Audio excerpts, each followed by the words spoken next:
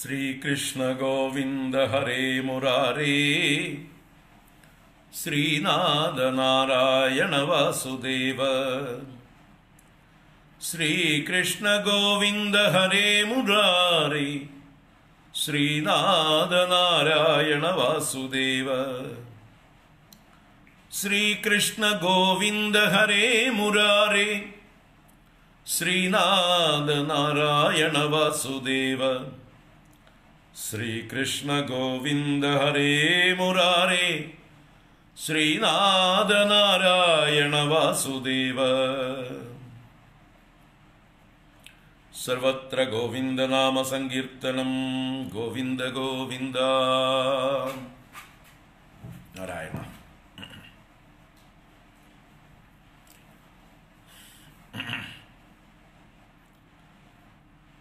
अगजाननपद्मार्कं गजाननमहर्निशम् अनेकदं तं भक्तानाम् एकदन्तमुपास्महे श्री महागणपतये नमः गुरवे सर्वलोकानां विषजे भवरोगिणां निदये सर्वविद्यानां दक्षिणामूर्तये नमः। अस्मद्गुरुचरणारविन्दाभ्यां नमः।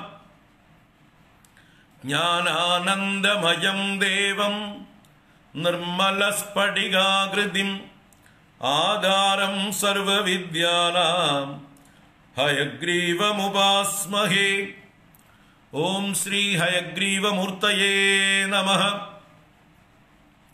सरस्वति नमस्तुभ्यं वरदे कामरूपिणि विद्यारम्भं करिष्यामि सिद्धिर्भवतु मे सदा।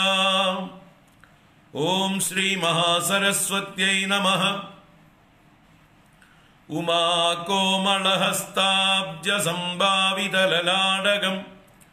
हिरण्यकुण्डलं वन्दे कुमारं पुष्करस्रजम् ஓம் வெற்றிவேல் முருகனுக்கு ஹரோஹரம் பூதநாத சதானந்த சர்வபூத தயாபராம் ரக்ஷ ரக்ஷ மகாபாஹோ शास्त्रे तुभ्यम् नमो नमः स्वामीये शरणमय्यप्पा कोमलम् कूजयन् वेणुम् श्यामलोऽयं कुमारकः वेदवेद्यं परं ब्रह्म। वासताम् पुरतो मम। सायङ्गाले वनान्दे कुसुमिदसमये सैगते चन्द्रिकायां त्रैलोक्याकर्षणाङ्गं सुरवरगणिकामोहनाभङ्गमूर्तिम्। सेव्यं शृङ्गारभावैः नवरसभरिधैः गोपकन्यासहस्रैः वन्देहम् रासकेळीरतमतिसुभगं वश्य गोपालकृष्णम् आनीलस्लक्ष्म केशम् मन्दहासस्यन्दार्द्रम्। കൗസ്തുഭശ്രീപരിഗതവനമാലോരുഹാരാഭിരാമം ശ്രീവത്സാംഗം സുബാഹും മൃദുലസതുതരം കാഞ്ചനഛായചേലം ചാരുസ്നിഗ്ധോരുമമ്പോരുഹരളിതപദം ഭാവയേഹം ഭവന്തം ശ്രീകൃഷ്ണ ഗോവിന്ദ ഹരേ മുരാരേ. ശ്രീനാഥ നാരായണ വാസുദേവ. ശ്രീകൃഷ്ണ ഗോവിന്ദ ഹരേ മുരാരേ. ശ്രീനാഥ നാരായണ വാസുദേവ. ശ്രീകൃഷ്ണ ഗോവിന്ദ ഹരേ മുരാരേ. ശ്രീനാഥ നാരായണ വാസുദേവ. സർവത്ര ഗോവിന്ദ നാമ സങ്കീർത്തനം. പരിതപ്ത ജനായ യോദാത് नारायणावनिसुराय नमोऽस्तु तस्मै। गङ्गागीता च गायत्र्यभिजतुलसिगा तुलसिगा गोपि तत् साळग्रामाभिपूजा परपुरुष तदैकादशी नामवर्णाः। एदान्यष्टाप्ययत्नान्यै कलिसमये त्वल्प्रसादप्रवृद्ध्या क्षिप्रं मुक्तिप्रदानीत्यभिददुर्षयः तेषु मां सज्जयेदा। पीताम्बरं करविराजितशङ्खचक्र कौमोदगी सरसिजं करुणासमुद्रम् राधासहायमतिसुन्दरमन्दहासं। वातालयेशमनिशं हृदि भावयामि। वातालयेशमनिशं हृदि भावयामि। व्यासाय विष्णुरूपाय व्यासरूपाय विष्णवे नमो वै ब्रह्मनिदये वासिष्ठाय नमो नमः। यं प्रव्रजन्दमनुपेदमपेदकृत्यं द्वैपायनो विरहकादर आजुहाव। पुत्रेदि तन्मयतया तरवोऽभिनेदुः तं सर्वभूतहृदयं मुनिमानतोऽस्मि। नारायणं नमस्कृत्य नरं चैव नरोत्तमम् देवीं सरस्वतीं व्यासं ततो जयमुदीरयेद्। ॐ ഭഗവതേ വാസുദേവായ. ഓം നമോ നാരായണായ. ഓം ശ്രീകൃഷ്ണ പരമാത്മനേ നമ. ഓം നമ പരമഋഷിഭ്യോ നമ. പരമഋഷിഭ്യ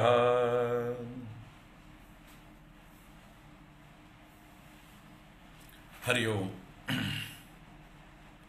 എല്ലാവർക്കും നമസ്കാരം. എല്ലാവർക്കും വീണ്ടും സുപ്രഭാതം ശുഭദിനം സുസ്വാഗതം. ഇപ്പം നമ്മൾ നാരായണീയ പഠന പരമ്പരയിലേക്ക് തിരിച്ചു വന്നു. നാൽപ്പത്തി ഒമ്പതാമത്തെ മറ്റേ എപ്പിസോഡാണ്. നമ്മൾ വാമനാവതാരം ചരിതം മഹാബലി ദർപ്പശമനം എന്നുള്ള രണ്ട് ദശകങ്ങൾ മുപ്പത് മുപ്പത്തൊന്ന് ദശകങ്ങൾ വളരെ വിശദമായി കണ്ടു. ശ്രീമദ് ഭാഗവതവും സമാനമായിട്ട് നമ്മൾ നോക്കിക്കണ്ടു എങ്കിലും അവസാന ഭാഗം കുറച്ച് ബാക്കിയുണ്ട് ശ്രീമദ് ഭാഗവതത്തിൽ അത് ഞാൻ പറയാമെന്ന് വാഗ്ദാനം ചെയ്തിരുന്നു. അതുകൊണ്ട് തന്നെ അത് കഴിഞ്ഞിട്ട് നമുക്ക് നാരായണീയത്തിലെ അടുത്ത ദശകത്തിലേക്ക് പ്രവേശിക്കാം. നാരായണീയം അടുത്ത ദശകം മത്സ്യാവതാരമാണ്. മുപ്പത്തിരണ്ടാം ദശകം. ആ മത്സ്യാവതാരം നമുക്ക് അടുത്ത ക്ലാസ്സിൽ കാണാം. ഇന്ന് നമുക്ക് മഹാബലി ചരിതത്തിന്റെ അവസാന ഭാഗം കുറച്ചൊന്ന് കാണാം. നമ്മൾക്കത് അത്യന്താപേക്ഷിതമായി എല്ലാവരും അറിഞ്ഞിരിക്കേണ്ടതാണ്. മലയാളികളായിട്ടുള്ള എല്ലാവരും ഓണം ആഘോഷിക്കുന്നത് കൊണ്ട് തന്നെ ആ ഓണത്തോട് സംബന്ധിച്ച വാമനാവതാര ചരിതം മഹാബലി ചരിതം നല്ലതുപോലെ നമ്മൾ പഠിക്കണം ഉറപ്പിക്കണം. നമ്മുടെ കുട്ടികൾക്കും പരിചയമുള്ള എല്ലാവർക്കും അത് നന്നായി തന്നെ പറഞ്ഞു കൊടുത്ത് അവരെ കൺവിൻസ് ചെയ്യിക്കണം. തെറ്റിദ്ധാരണകൾ അകറ്റണം. അങ്ങനെ ഓണാഘോഷങ്ങളെ നമ്മൾ സാർത്ഥകമാക്കണം. ശരിയായ അതിന്റെ തത്വത്തിൽ ഓണം ആചരിക്കണം. എന്തിനു വേണ്ടി നമ്മുടെ പൂർവികരായിട്ടുള്ള മഹാത്മാക്കൾ ഓണാചരണം ഓണാഘോഷം ആരംഭിച്ചുവോ ആ ഓണത്തിലേക്ക് തന്നെ നമുക്ക് തിരിച്ചു പോകണം. അതിനുവേണ്ടി അപ്പോൾ എന്തായാലും നമുക്ക് കേരളീയർക്ക് മലയാളികൾക്ക് ലോകത്തിൽ എവിടെ ഇരുന്നാലും ഓണം എന്നത് ഒരു ഒരു ഗൃഹാതുരമായിട്ടുള്ള സ്മരണകളാണ്. ഏറ്റവും കാത്തിരിക്കുന്ന ഒരു ഉത്സവമാണ് നമ്മളെല്ലാവരും. മറ്റുള്ള ഉത്സവങ്ങളൊക്കെ നമ്മൾ അവഗണിച്ചാലും ഓണം ഒരിക്കലും നമ്മൾ അവഗണിക്കാറില്ല. കാണം വിറ്റും ഓണം ഉണ്ണണം എന്നുള്ള ആ ഒരു ചൊല്ല് കേരളമെമ്പാടും വളരെ പ്രശസ്തവുമാണ്. അതുകൊണ്ട് ഓണം എന്നത് നമുക്ക് മലയാളികളുടെ ഒരു വികാരമാണ്. അതിനെക്കുറിച്ച് കൃത്യമായിട്ടുള്ള അറിവ് നമുക്കുണ്ടാവണം. അതിനുവേണ്ടി ഇന്നത്തെ ക്ലാസ്സും കൂടെ അതിലേക്ക് ഡെഡിക്കേറ്റ് ചെയ്യണം.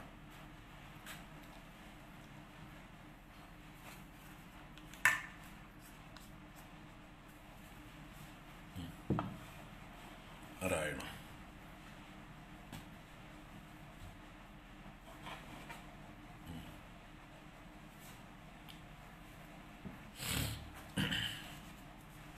നമ്മൾ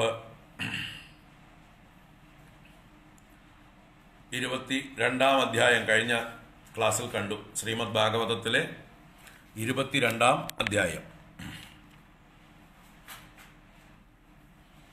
അതിൽ മഹാബലിയുടെ ആ ഒരു സത്യസന്ധതയും ധൈര്യവും നമ്മൾ കണ്ടു. അതുപോലെ പ്രഹ്ലാദൻ ഇറങ്ങി വന്ന് ഭഗവാനോട് മഹാബലിയോട് ക്ഷമിക്കാനായിക്കൊണ്ട് ആവശ്യപ്പെടുന്ന പ്രാർത്ഥനകളൊക്കെ കണ്ടു. അതിന്റെ ഇടയ്ക്ക് വിന്ധ്യാവലി എന്ന മഹാബലിയുടെ പത്നി പറഞ്ഞ വാക്കുകൾ നമ്മൾ ഒരിക്കലും മറക്കരുത്. ഈ വാമനാവതാര ചരിതത്തിന്റെ തത്വം ആ ശ്ലോകത്തിലാണ് കിടക്കുന്നത്. ഏറ്റവും മർമ്മമായിട്ടുള്ള ശ്ലോകമാണത്. ഏതായിരുന്നു ആ ശ്ലോകം? അഷ്ടമസ്കന്ധം ഇരുപത്തിരണ്ടാം അധ്യായത്തിൽ ഇരുപതാം ശ്ലോകമായിരുന്നു. വിന്ധ്യാവലിരുവാച എന്നത്. ക്രീഡാർത്ഥമാത്മലയിതം ത്രിജഗത്കൃതം തേ. സ്വാമ്യം തു തത്ര കുതിയോ പരൈശ കുര്യുഃ കർത്തുഃ പ്രഭോസ്തവ കിമസ്യത ആവഹന്തി. ത്യക്തഹ്രിയസ്ത്വതവരോപിത കർത്തൃവാദാഹ അപ്പോൾ ആ വിന്ധ്യാവലി എന്താണ് സത്യം എന്നുള്ളത് കൃത്യമായിട്ട് പറഞ്ഞു. അല്ലയോ ഗുരു ഭഗവാനെ ഈശ തേ ക്രീഡാർത്ഥം ആത്മനഹ ക്രീഡാർത്ഥം ഇതം ത്രിജഗത് തേ കൃതം. അങ്ങേക്ക് കളിക്കാൻ വേണ്ടി അങ്ങ് ഈ മൂന്ന് ലോകങ്ങളെയും നിർമ്മിക്കുന്നു. എന്നാൽ അതിൽ ചില അപരേ കുതിയ കുത്സിത ബുദ്ധികളായിട്ടുള്ള ചിലർ സ്വാമ്യം തു തത്ര കുര്യുഹു. അതിൽ ഞാനാണ് സ്വാമി ഞാനാണ് ഈശ്വരൻ എന്നുള്ള ഭാവത്തെ ചെയ്യുന്നു. യഥാർത്ഥ കർത്താവായിരിക്കുന്ന അങ്ങയിൽ നിന്ന് യഥാർത്ഥ രക്ഷകനായ പ്രഭുവായ അങ്ങയിൽ നിന്ന് യഥാർത്ഥ സംഹർത്താവായ അസ്യത അങ്ങനെയുള്ള അങ്ങയിൽ നിന്ന് ലജ്ജയില്ലാതെ തെക്തഹ്രിയ ത്വതവരോപിത കർത്തൃവാദാഹ. അങ്ങയിൽ നിന്ന് കർത്തൃവാദങ്ങളെ സ്വയം ഏറ്റെടുത്ത് ആവഹിക്കുന്നു. ഞങ്ങളാണിതിന്റെ കർത്താക്കൾ ഞങ്ങളാണിതിന്റെ ഈശ്വരന്മാർ എന്നൊക്കെ മൂഢജനങ്ങൾ കുൽസിത ബുദ്ധികൾ ധരിക്കുന്നു. ആ കൂട്ടത്തിൽ എന്റെ എന്റെ ഭർത്താവും ഒരു കുൽസിത ബുദ്ധിയാണെന്നാണ് വിന്ധ്യാവലി തന്നെ പറഞ്ഞത്. അപ്പൊ ഭഗവാൻ നിർമ്മിച്ച് ഭഗവാൻ ദിക്പാലകന്മാരെയൊക്കെ നിശ്ചയിച്ച് ലോകപരിപാലനം നടത്തിക്കൊണ്ടിരിക്കുമ്പോൾ ഭഗവാന്റെ ദിക്പാലകന്മാരെ ഭഗവാന്റെ സമ്മതം കൂടാതെ ആട്ടിക്കളഞ്ഞ് ആ സ്ഥാനം പിടിച്ചടക്കി ഞാനാണ് ഈ ലോകത്തിന്റെ ഈശ്വരൻ എന്ന് പറയുന്നവരെയാണ് ഇവിടെ മഹാബലിയുടെ പത്നി തന്നെ പരിഹസിക്കുന്നത്. സ്വന്തം ഭർത്താവിനെ തന്നെയാണ് പരിഹസിച്ചത്. ഇത് നമ്മൾ ഉറച്ചു വെക്കണം ഈ കഥയുടെ ഏറ്റവും പ്രധാനമായിട്ടുള്ള മർമ്മമാണ്. കാരണം ഇത് അഷ്ടമ സ്കന്ധത്തിലാണ് മന്വന്തരാനുചരിതം എന്ന് പറയുന്ന ഭാഗത്താണ് ഈ കഥ വർണിച്ചിട്ടുള്ളത്. അപ്പൊ ഇതാണ് അതിന്റെ തത്വം. മന്വന്തര ചരിതം ഭഗവാൻ എങ്ങനെയാണ് ഈ വിശ്വത്തെ മന്വന്തരങ്ങൾ തോറും പരിപാലിക്കുന്നത് എന്ന് വർണിക്കാൻ വേണ്ടിയിട്ടാണ്. ഓരോ മന്വന്തരങ്ങളിലും മന്വന്തര ഷക്കങ്ങളിലൂടെ ഭഗവാൻ ഭരണം നടത്തുന്നു. അതിൽ ഇന്ദ്രൻ എന്നതും ദിക്പാലകന്മാരുമൊക്കെ ഭഗവാന്റെ ഉദ്യോഗസ്ഥന്മാരാണ്. അവരെ ഭഗവാൻ അപ്പോയിന്റ് ചെയ്തതാണ്. അവരെ സ്ഥാനഭ്രഷ്ടരാക്കാൻ മറ്റൊരാൾക്ക് അർഹതയില്ല. എന്റെ ഒരു സ്ഥാപനത്തിൽ ആരെ മാനേജരാക്കി വെക്കണമെന്ന് എന്റെ സ്വാതന്ത്ര്യമാണ്. എനിക്ക് വിശ്വാസമുള്ള ആളും യോഗ്യതയുണ്ടെന്ന് തോന്നുന്ന ആളെയുമാണ് ഞാൻ അപ്പോയിന്റ് ചെയ്യുക. അത് വേറെ വല്ലവരും വന്ന എന്റെ മാനേജറെ ഉപദ്രവിക്കാനോ ഡിസ്മിസ് ചെയ്യാനോ വന്നാൽ ഞാൻ എന്ത് ചെയ്യും? എന്റെ മാനേജറെ പ്രൊട്ടക്ട് ചെയ്യും. അതെന്റെ ധർമ്മമാണ്. ആ ഉപദ്രവിക്കാൻ വന്നവരെ ഞാൻ ഓടിക്കും. ഗെറ്റ് ഔട്ട് അടിക്കും. പോയില്ലെങ്കിൽ പോലീസിനെ വിളിക്കും. അല്ലെങ്കിൽ കൈകാര്യം ചെയ്യും ഞാൻ. അപ്പൊ എന്റെ മാനേജറെ പ്രൊട്ടക്ട് ചെയ്യേണ്ടത് എന്റെ കർത്തവ്യമാണ്. അതുപോലെ ഭഗവാന്റെ മാനേജറാണ് ഇന്ദ്രൻ. ആ ഇന്ദ്രനെ പ്രൊട്ടക്ട് ചെയ്യേണ്ടത് ഭഗവാന്റെ ധർമ്മമാണ്. ഭഗവാൻ അപ്പോയിന്റ് ചെയ്ത ആളാണ്. അയാളെ ഡിസ്മിസ് ചെയ്യാൻ വേറെ എവിടെന്നെങ്കിലും വന്ന ഒരാൾക്ക് അർഹതയില്ല. അപ്പൊ അതാണ് ഈ കഥയുടെ മർമ്മം. ശരി. ഇനി ഭഗവാൻ മഹാബലിയെ സുതലത്തിലേക്ക് പൊക്കോളാൻ പറഞ്ഞു അവസാനം. അടുത്ത മന്നൊന്തരത്തിൽ നിനക്ക് ഇന്ദ്രപദവിയും നൽകാം എന്നും വാഗ്ദാനം ചെയ്തു. സുതലത്തിൽ നിനക്ക് ഞാൻ കാവൽക്കാരനായി നിന്നെ ഞാൻ രക്ഷിക്കും എന്നും കൂടി ഭഗവാൻ പ്രതിജ്ഞ ചെയ്തു. രക്ഷിഷ്യേ സർവദോഹം ത്വാം സാനുഗം സപരിച്ഛദം സദാ സന്നിഹിതം വീര തത്ര മാം ദ്രക്ഷ്യത്തെ ഭവാൻ. തത്ര ദാനവദൈത്യാനാം സംഘാത്തേ ഭാവ ആസുര ദൃഷ്ട്വാ മതനുഭാവം വൈ സദ്യ കുണ്ടോ വിനങ്ഷ്യതി അവിടെ എന്നെ നിരന്തരം കണ്ടുകൊണ്ട് അങ്ങേക്ക് അസുരന്മാരുമായിട്ടുള്ള സമ്പർക്കത്തിൽ നിന്നുണ്ടായിട്ടുള്ള എല്ലാ കുണ്ടഭാവങ്ങളും നശിച്ചു പോകും. അങ്ങയുടെ പാപവാസനകളൊക്കെ പൂർണമായി നശിച്ചു പോയി. അങ്ങ് പരിശുദ്ധനായി. അങ്ങ് നല്ലൊരു ഭക്തനും ജീവൻ മുക്തനുമായി ഭവിക്കും എന്ന് പറഞ്ഞ് ഭഗവാൻ അനുഗ്രഹിച്ചതാണ് അവസാനം കണ്ടത്. അപ്പോ നിങ്ങൾ ഇത്രയും നേരം ഭാഗവതം നമ്മൾ വിശദമായി വായിച്ചു. എവിടെയെങ്കിലും ഭഗവാൻ മഹാബലിയുടെ തലയിൽ കാലുവെച്ചു ചവിട്ടിത്താഴ്ത്തി എന്നെങ്കിലും കണ്ടോ? മിക്കവാറും ഭാഗങ്ങളൊക്കെ ഞാൻ വായിച്ചു. നിങ്ങൾ കണ്ടു എവിടെയെങ്കിലും? നിങ്ങൾ ആരെങ്കിലും കണ്ടിട്ടുണ്ടെങ്കിൽ എനിക്കൊന്ന് കാണിച്ചു തരാൻ വേണ്ടിയിട്ടാ. ഒന്ന് കാണിച്ചു തരണം. ആരെങ്കിലും കണ്ടിട്ടുണ്ടെങ്കിൽ ഞാൻ കാണാതെ പോയിട്ടുണ്ടെങ്കിൽ. ഭഗവാൻ മഹാബലിയുടെ ശിരസിൽ കാലുവെച്ചു ചവിട്ടിത്താഴ്ത്തി എന്നുള്ള പദങ്ങൾ ശ്രീമദ് ഭാഗവതത്തിൽ എവിടെയെങ്കിലും ഉണ്ടെങ്കിൽ ഒന്ന് പറഞ്ഞു തരണം.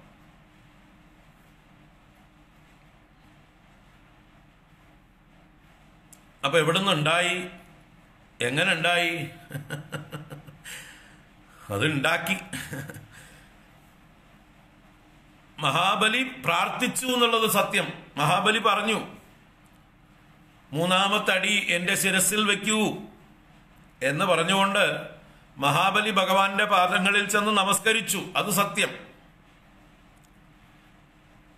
മഹാബലി നമസ്കരിച്ചു മഹാബലി തന്റെ ശിരസ് സമർപ്പിച്ചു തന്റെ ശിരസിൽ പാദം വയ്ക്കാൻ ഭഗവാനോട് അഭ്യർത്ഥിച്ചു. തനിക്ക് നരകങ്ങളെ ഭയമില്ല വേറെ ഒരു കഷ്ടപ്പാടുകളും ഭയമില്ല പക്ഷേ എന്നെ സത്യസന്ധനാക്കണം. വാക്ക് പറഞ്ഞത് പാലിക്കാൻ വേണ്ടി എന്നെ അനുഗ്രഹിക്കണം. മൂന്നാമത്തെ അടി അങ്ങ് വെച്ചു എന്ന് വരുത്തി തീർക്കണം. വാസ്തവത്തിൽ മൂന്നാമത്തെ അടി തരാനുള്ള കഴിവൊന്നും എനിക്ക് ഉണ്ടായിട്ടല്ല പക്ഷെ ഞാൻ തരാൻ സന്നദ്ധനായിരുന്നു. എന്റെ സർവസ്വവും ഞാൻ അങ്ങേക്ക് തന്നു എന്ന് ലോകമറിയണം. ഞാൻ എന്തെങ്കിലും എന്റെ കയ്യിൽ ഉണ്ടായിട്ട് പിടിച്ചു വെച്ചു അങ്ങേക്ക് തന്നില്ല വാക്ക് പാലിച്ചില്ല എന്നൊരിക്കലും എന്റെ ചരിത്രത്തിൽ എവിടെയെങ്കിലും ഉണ്ടാവാൻ പാടില്ല. ഞാൻ സത്യസന്ധനാണ് എന്റെ കയ്യിലുള്ളത് സർവസ്വവും അങ്ങേക്ക് തന്നു എന്ന് എന്നെ കുറിച്ച് ലോകം എപ്പോഴും പറയണം എന്നുള്ള പ്രാർത്ഥന മഹാബലിയിൽ ഉണ്ടായിരുന്നു. അപ്രകാരം മഹാബലി ശിരസ് നമിച്ച് ഭഗവാന്റെ പാദങ്ങളിൽ തന്റെ ശിരസിനെ സമർപ്പിച്ചു എന്നത് മഹാബലിയുടെ ഭാഗം. പക്ഷെ ഭഗവാൻ അതിലേക്കൊന്ന് നോക്കുക പോലും ചെയ്തുവോ? ഭഗവാൻ തന്റെ കാലെടുത്ത് മഹാബലിയുടെ ശിരസിൽ വെച്ചുവോ?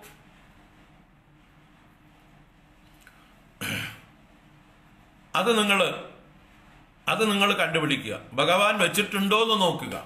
ഒരിക്കലും കാണുന്നില്ല. ഈ ശ്രീമദ് ഭാഗവതത്തിൽ മാത്രമല്ല മഹാബലിയുടെ ചരിത്രം വരുന്ന വാമനാവതാര ചരിത്രം വരുന്ന നമ്മുടെ ഒറിജിനൽ സംസ്കൃത പുരാണങ്ങളിലൊക്കെ ഞാൻ നോക്കി. വാമന പുരാണമുണ്ട് മത്സ്യപുരാണമുണ്ട് വിഷ്ണു പുരാണമുണ്ട് ഇങ്ങനെ വൈഷ്ണവ അവതാര ലീലകളെ വർണിക്കുന്ന പുരാണങ്ങളിലൊക്കെ നോക്കി. മഹാഭാരതത്തിലെ ഈ മഹാബലി ചരിതം ഭീഷ്മർ പറയുന്നുണ്ട്. അവിടെയും കണ്ടില്ല. എവിടെ നോക്കിയിട്ടും കാണാനില്ല. എവിടെയും ഭഗവാൻ ചവിട്ടി മഹാബലിയെ പാതാളത്തിലേക്ക് ചവിട്ടിത്താഴ്ത്തി എന്നൊരു പ്രയോഗം എവിടെയും കണ്ടില്ല ഒറിജിനൽ സംസ്കൃതത്തിൽ ഉണ്ടെങ്കിൽ നിങ്ങൾ ആരെങ്കിലും കാണിച്ചു തരണം. ഉണ്ടെങ്കിൽ കാണിച്ചു തരണം ദയവ് ചെയ്ത്.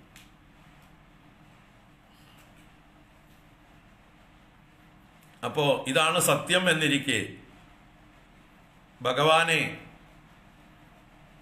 എങ്ങനെയൊക്കെയാണ് ആളുകൾ പരിഹസിക്കുന്നത് അല്ലെങ്കിൽ നിന്ദിക്കുന്നത് ഭഗവാന്റെ നേരെ കുറ്റം ആരോപിക്കുന്നത് എന്ന് നമ്മൾ തിരിച്ചറിയണം. അതിന് ഒരു കാരണം ഉണ്ട്.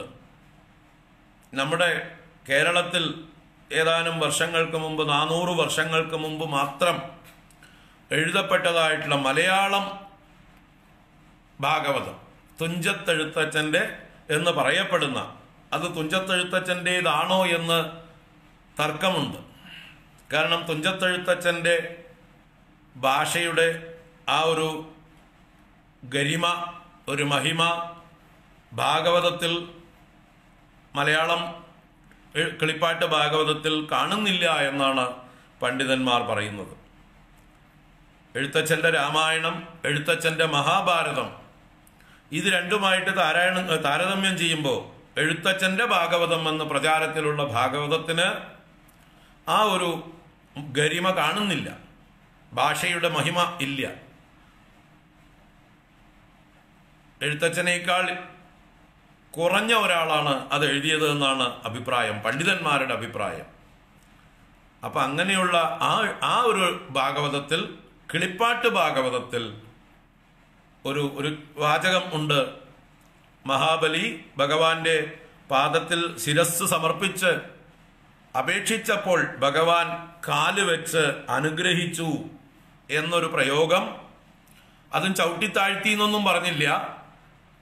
കാൽ വെച്ച് ശിരസിൽ പാദം വെച്ച് അനുഗ്രഹിച്ചു എന്നൊരു പ്രയോഗം മലയാളം മൂലം ഭാഗവതത്തിൽ മലയാളം ഭാഗവതത്തിൽ മൂലത്തിലല്ല മലയാളം കിളിപ്പാട്ട് ഭാഗവതത്തിൽ വെറും നാനൂറ് വർഷം മുമ്പ് രചിക്കപ്പെട്ട കേരളത്തിൽ രചിക്കപ്പെട്ട ആ കൃതിയിൽ ഉണ്ട്. അപ്പൊ അതാണ് ഈ പണിയൊക്കെ ഉണ്ടാക്കിയതെന്ന് വേണം ധരിക്കാൻ. അതാണ് മൂലം. അല്ലാതെ നമ്മുടെ മേൽപ്പത്തൂര് പറഞ്ഞില്ല. മേൽപ്പത്തൂരിന്റെ ഭാഗവ നാരായണീയത്തിൽ എവിടെയും കണ്ടില്ല നമ്മൾ ഭഗവാൻ ചവിട്ടി താഴ്ത്തിന്ന് അപ്പോ എഴുത്തച്ഛനാണോ എന്നറിയില്ല. ആരോ എഴുതിയതായിട്ടുള്ള ആ ഭാഗവതത്തിന്റെ കിളിപ്പാട്ടിന്റെ ഒരു നല്ല വരിയതും ഭഗവാൻ പാദം വെച്ച് അനുഗ്രഹിച്ചു എന്ന് പറഞ്ഞ വരിയെ ചവിട്ടിത്താഴ്ത്തി എന്നാക്കി മാറ്റിയ ബിരുദന്മാര് അവരെയാണ് നമ്മൾ സമ്മതിക്കേണ്ടത്. അപ്പൊ അതിനെ അനുകരിച്ചുകൊണ്ട് പിന്നീട് പല ചിത്രകാരന്മാരും മഹാബലിയുടെ ചിത്രവും വാമനന്റെ ചിത്രവും വാമനൻ തലയിൽ കാലെടുത്ത് വെക്കുന്ന ചിത്രവുമൊക്കെ പിന്നീടുണ്ടായതാണ് അടുത്ത കാലത്തുണ്ടായിട്ടുള്ളതാണ്. പഴയ ചിത്രങ്ങളിലൊന്നുമില്ല. പഴയ ചിത്രം ഒറിജിനൽ ചിത്രം ത്രിവിക്രമ അവതാരം ഭഗവാൻ രണ്ട് പാദങ്ങളെയും രണ്ട് വഴിക്ക് ഇങ്ങനെ ഉയർത്തി നിൽക്കുന്നതാണ്. ഒന്ന് ഭൂമിയിൽ വെച്ച് മറ്റൊരു കാൽ ആകാശത്തേക്ക് ഇങ്ങനെ സത്യലോകത്തേക്ക് ഉയർത്തി നിൽക്കുന്ന ആ ഭാവത്തിലാണ് പ്രാചീനങ്ങളായിട്ടുള്ള ഈ വാമനാവതാരത്തിലെ ത്രിവിക്രമന്റെ ചിത്രങ്ങൾ കാണപ്പെടുന്നത്. നിങ്ങൾ തമിഴ്നാട്ടിലുള്ളതായിട്ടുള്ള വിഷ് വൈഷ്ണവ ക്ഷേത്രങ്ങളിൽ പ്രാചീന ക്ഷേത്രങ്ങളിലൊക്കെ ചെന്നാൽ അവിടെ വരച്ചു വെച്ചിട്ടുള്ള വാമനാവതാരത്തിൽ ത്രിവിക്രമന്റെ ചിത്രം വരച്ചിട്ടുണ്ടെങ്കിൽ അത് മുകളിലോട്ട് കാൽ വെച്ചിട്ടാണ്. കാൽ എന്താ പറയുക നയന്റി ഡിഗ്രി എന്ന് പറഞ്ഞ പോലെ മുകളിലോട്ട് ഉയർത്തിയിട്ടാണ് അല്ലാതെ മഹാബലിയുടെ തലയിൽ വെച്ചിട്ടുള്ളതല്ല. ഞാൻ പല ക്ഷേത്രങ്ങളിലും തമിഴ്നാട്ടിൽ സന്ദർശിച്ചിട്ടുള്ളതാണ് കണ്ടിട്ടുള്ളതാണ്. അതിൽ പ്രത്യേകിച്ച് കുംഭകോണത്തിന്റെ അടുത്ത് ഉലക ഉലകളന്ത പെരും സോറി കാഞ്ചീപുരത്തിനടുത്ത് ഉലകളന്ത പെരുമാൾ എന്ന് പറഞ്ഞൊരു ക്ഷേത്രമുണ്ട്. ഉലകളന്ത പെരുമാൾ കാഞ്ചീപുരം. ഉലകളന്ത പെരുമാൾ എന്ന് പറഞ്ഞാൽ ഉലകത്തെ അളന്ന പെരുമാൾ. ആ ക്ഷേത്രത്തിന്റെ മുമ്പിൽ തന്നെ ഗോപുരത്തിൽ ഭഗവാന്റെ രൂപം നല്ലപോലെ വിശ്വരൂപം കൊത്തിവെച്ചിട്ടുണ്ട് കാലുകൾ മുകളിലോട്ട് ഇതാക്കിയിട്ട്. മുമ്പിൽ മഹാബലി കുനിഞ്ഞു നിൽപ്പുണ്ട് എന്ന് മാത്രം. മഹാബലി നമസ്കരിച്ച് നിൽപ്പുണ്ട് മുമ്പിൽ കുനിഞ്ഞ് കിരീടം താഴ്ത്തി വെച്ച്. ഭഗവാന്റെ മുമ്പിൽ കുനിഞ്ഞു നിൽക്കുന്ന മഹാബലിയുണ്ട്. പക്ഷെ ഭഗവാന്റെ കാൽ മുകളിലോട്ടാണ്. മഹാബലിയുടെ ശിരസിലല്ല കാണേണ്ടതാണ് ഉലകളന്ത പെരുമാൾ എന്ന ക്ഷേത്രം. പ്രാചീനമായിട്ടുള്ള ക്ഷേത്രമാണ്. അതുപോലെ തമിഴ്നാട്ടിലെ പല വൈഷ്ണവ ക്ഷേത്രങ്ങളിലും ഈ ചിത്രങ്ങളുണ്ട്. ഈ ഭഗവാന്റെ ത്രിവിക്രമന്റെ ചിത്രങ്ങൾ കാലെല്ലാം മുകളിലോട്ട് വെച്ചിട്ടാണ്. അപ്പൊ കേരളത്തിൽ നാനൂറ് വർഷത്തിന് ശേഷം ഉണ്ടായിട്ടുള്ള ആളുകളാണ് ഈ എഴുത്തച്ഛന്റെ എന്ന് പറയുന്ന ഈ ഭാഗവതത്തെ അനുകരിച്ചുകൊണ്ട് ചില ചിത്രങ്ങൾ ഉണ്ടാക്കിയിട്ടുള്ളത്. അത് പോപ്പുലറൈസ് ചെയ്ത് മഹാബലിയുടെ തലയിൽ കാലുവെക്കുന്ന പോലെയുള്ള ചിത്രങ്ങൾ പ്രചരിച്ചു. അത് പ്രചരിപ്പിക്കാൻ ധാരാളം ആളുകൾ ഉണ്ടായി. എന്തിനാ? ഭഗവാനെ നിന്ദിക്കണം. അതിനുവേണ്ടി. ആരോ അറിവില്ലാതെ ചെയ്തു. അറിവില്ലാതെ ചെയ്തതിനെ പ്രമാണമാക്കിയിട്ട് അതിനെ പ്രചരിപ്പിച്ചു. അതാണ് ഉണ്ടായിട്ടുള്ളത്. അറിവില്ലാതെ ചെയ്തത് പ്രമാണമാകുമോ ഏതെങ്കിലും വിഡ്ഢികൾ ചെയ്യുന്ന പ്രവൃത്തികൾ എങ്ങനെ പ്രമാണമാവുക? പ്രമാണമാകുന്നത് നമ്മുടെ പൂർവീകമായിട്ടുള്ള സംസ്കൃതത്തിലുള്ള ഒറിജിനൽ ഗ്രന്ഥങ്ങളാണ്. അതുപോലെ പ്രാചീനങ്ങളായിട്ടുള്ള ശില്പങ്ങളാണ്. അല്ലാതെ ആധുനികങ്ങളായിട്ടുള്ള ഒന്നും പ്രമാണങ്ങളല്ല. അപ്പൊ ഇതിനെ വെച്ചുകൊണ്ടാണ് ഈ ഇന്നത്തെ ഓണക്കഥ കൃത്രിമ കഥ ഭഗവാനെ നിന്ദിക്കുന്ന കഥ ഉണ്ടാക്കിയിട്ടുള്ളത്. മഹാബലിയെ നമുക്ക് നിന്ദിക്കേണ്ട കാര്യമൊന്നുമില്ല. മഹാബലിയുടെ മഹിമ നമ്മൾ കണ്ടു. അദ്ദേഹത്തിന്റെ കുഴപ്പം എന്താണെന്നും കണ്ടു. അദ്ദേഹത്തിന് ഈശ്വരനെ കുറിച്ച് അറിയാത്തതിന്റെ അഹങ്കാരം തന്റെ ബലം കൊണ്ടുള്ളതായിട്ടുള്ള അഹങ്കാരം. ആ അഹങ്കാരം പൂർണമായി ഇപ്പം നീങ്ങിക്കിട്ടിയതായിട്ടുള്ള ആ ഒരവസ്ഥയെയും നമ്മൾ കണ്ടു. അതുകൊണ്ട് ആ മഹാബലിയെ നമ്മൾ ഒരിക്കലും നിന്ദിക്കുന്നില്ല. മഹാബലി മഹാൻ തന്നെയാണ്. അദ്ദേഹത്തെ നമുക്ക് ബഹുമാനിക്കാം പൂജിക്കാം. യാതൊരു കുഴപ്പമില്ല മഹിഷാസുരനെ മഹിഷാസുര മർദ്ദിനിയെ പൂജിക്കുമ്പോൾ മഹിഷാസുരനെ പൂജിക്കണമെന്നാണ് ദേവി മാഹാത്മ്യം പറയുന്നത്. അതുപോലെ ഭഗവാൻ വാമനമൂർത്തിയെ പൂജിക്കുമ്പോൾ മഹാബലിയെ പൂജിക്കുക എന്നുള്ളത് ഹൈന്ദവ സംസ്കാരമാണ്. അതാണ് ഹൈന്ദവ സംസ്കാരം. എല്ലാറ്റിനെയും ഉൾക്കൊള്ളുന്നതാണ് ഹൈന്ദവ സംസ്കാരം. പക്ഷെ അതിന്റെ പേരിൽ മഹാബലിയെ ഏറ്റവും പൂജ്യനാക്കുകയും ഭഗവാനെ നിന്ദിക്കുകയും ചെയ്യുമ്പോഴാണ് നമുക്ക് സഹിക്കാത്തത്. അപ്പോഴാണ് നമ്മൾ ശബ്ദമുയർത്തുക. നമുക്ക് സഹിക്കാൻ പറ്റില്ല. കരുണാമൂർത്തിയായിട്ടുള്ള ഭഗവാനെ നിന്ദിക്കുക. മഹാബലിയെ ഒരിക്കലും ഉപദ്രവിച്ചിട്ടില്ലാത്ത നിന്ദിച്ചിട്ടില്ലാത്ത ഒരു നാടകം മാത്രം നടത്തി മഹാബലിയുടെ മഹിമയെ ലോകത്തിന് കാണിച്ചു കൊടുത്ത ഭഗവാൻ. മഹാബലിയെ ഹിംസിക്കാൻ ഉദ്ദേശിച്ചിട്ടല്ല ഭഗവാന്റെ വരവ്. പ്രഹ്ലാദനോട് പറയുന്നു മഹാബലിയോട് പറയുന്നു വാഗ്ദാനം ചെയ്യുന്നു ഞാൻ നിന്നെ ഇന്ദ്രനാക്കിയിരിക്കുന്നു ഞാൻ നിന്നെ രക്ഷിക്കും എന്നൊക്കെ വാഗ്ദാനവും അത് ഭഗവാൻ പാലിക്കുന്നുണ്ട്. നിങ്ങൾക്കിനി ശ്രീമദ് ഭാഗവതത്തിൽ പഞ്ചമസ്കന്ധത്തിൽ ആ സുതലത്തെക്കുറിച്ച് വർണിക്കുമ്പോൾ ഓരോ ലോകങ്ങളെയും കുറിച്ച് വർണിക്കുമ്പോൾ അതിൽ സുതലത്തെക്കുറിച്ചിട്ടുള്ള വർണനയുണ്ട്. അവിടെ ഭഗവാൻ ഗതാപാണിയായി മഹാബലിയുടെ ആ എന്താ പറയുക കൊട്ടാരത്തിന്റെ മുമ്പിൽ കാവൽ നിൽക്കുന്നു എന്ന് വർണിക്കുന്നുണ്ട്. അതുപോലെ രാവണൻ ദിഗ്വിജയം നടത്തിയ കാലത്ത് ബാക്കി എല്ലാ ലോകങ്ങളിലും പോയി സുതലത്തിൽ ചെന്ന് മഹാബലിയെ വിജയിക്കാൻ ചെന്നപ്പോൾ മഹാബലി അറിഞ്ഞിട്ട് പോലുമില്ല അങ്ങനെ ഒരു രാവണൻ അവിടെ ചെന്നത്. കാരണം കാവൽക്കാരനായി നിന്ന ഭഗവാൻ ഗത കൊണ്ട് രാവണനെ എടുത്തൊരു ഏറ എറിഞ്ഞത്. ഗത കൊണ്ട് അടിച്ച് ക്രിക്കറ്റ് ബാറ്റ് കൊണ്ട് സിക്സർ അടിക്കുമ്പോൾ അടിച്ചപ്പോ രാവണൻ ചെന്ന് വീണത് ലങ്കയിലാണ്. അതുകൊണ്ട് തന്നെ മഹാബലി അറിയുക പോലും ഉണ്ടായില്ല. രാവണനെ പോലൊരു ശക്തൻ തന്നെ ആക്രമിക്കാൻ വന്നിട്ട്. അപ്പൊ ഭഗവാൻ തന്റെ വാക്ക് പാലിച്ചുകൊണ്ട് മഹാബലിക്ക് കാവൽ നിന്നുകൊണ്ട് രാവണനെ പോലൊരു ശക്തനെ പോലും അവിടുന്ന് അടിച്ചു തെറിപ്പിച്ചു. മഹാബലി അറിഞ്ഞില്ല തന്നെ ആക്രമിക്കാൻ രാവണൻ വന്നത്.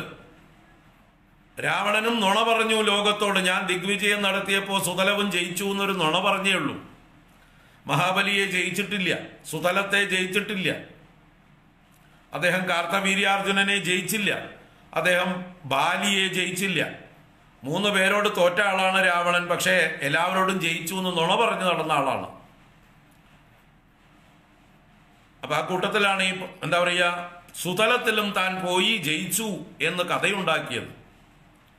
യഥാർത്ഥത്തിൽ അവിടെ വിഷ്ണു രാവണനെ തോണ്ടി എറിയുകയാണ് ചെയ്തത്. സിക്സർ അടിക്കുകയാണ് ചെയ്തത്. ഇതൊക്കെ നമ്മൾ മനസ്സിലാക്കണം. ഇപ്പൊ ഭഗവാൻ എത്ര കരുണാമൂർത്തിയാണ്. അങ്ങനെയുള്ള കരുണാമൂർത്തിയായിട്ടുള്ള ഭഗവാനെ ഒരു കള്ളനും വഞ്ചകനും നിന്ദ്യനും ഒക്കെ ആയിട്ട് അവതരിപ്പിക്കുക എന്ന് പറഞ്ഞാൽ ഒരിക്കലും സമ്മതമല്ല.